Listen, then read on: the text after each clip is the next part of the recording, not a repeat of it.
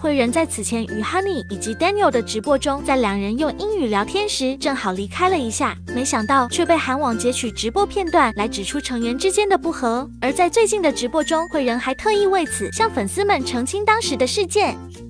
나 오해가 생기는 걸 정말 정말 싫어하는 사람이기 때문에 근데 그게 조금 문제가 좀 커져가지고 제 눈에도 들어왔어요 그때 한이 언니랑 저랑 다니 언니랑 라방을 했었잖아요 근데 그게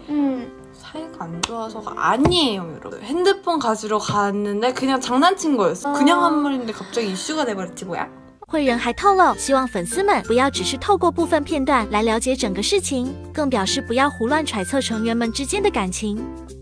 걸로 그런 한순간에 보여지는 그런 단편